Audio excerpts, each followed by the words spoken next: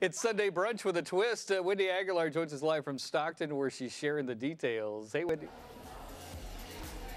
Happy Sunday morning. If you are just getting started, it is time for brunch. And what better way to do brunch than with your friends? So bring your friends. And then while you're at it, you might want to do a little bit of shopping so you can buy some art pieces. And Cody, if I can borrow your credit card, I want to buy this piece because it is called Positive Attitude, and Beautiful. I absolutely love it. So we are talking about brunch in full bloom and we have a local artist here. This is Erin and so you painted all these roses. They're absolutely beautiful. They're on sale and it's all for a great cause. Tell us a little bit about that. So these rose paintings help support the University Park World Peace Rose Garden, which is located here in downtown Stockton. There's also one in Sacramento, part of a global organization all to promote peace, that peace starts within ourselves, and spreading peace one rose at a time.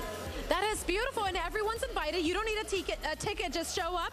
Um, tell us a little bit about how you incorporate the ocean into these pieces Uh, you know, being from California, I do love the ocean, and so all of my paintings, there's ocean water from the Pacific Ocean in in my artwork. So you get a little, you know, some roses and some ocean, and yeah.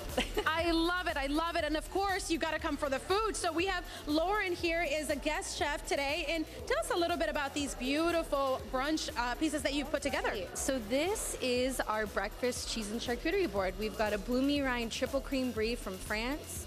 Uh, we've got a little local honeycomb. This is Idiazabal. It's a raw sheep's milk cheese from the Basque region of Spain.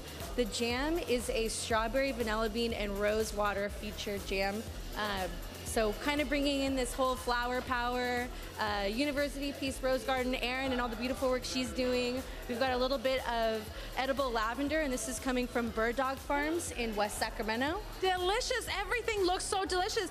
And of course, you cannot have brunch without mimosas, of course. But there's something for the gentlemen as well because they have a rose infused beer. How was that beer, young man? Uh, it was delicious, delicious. There you have it, guys. Come and check it out. We'll send it back to you. I think they're loving your energy there, Wendy.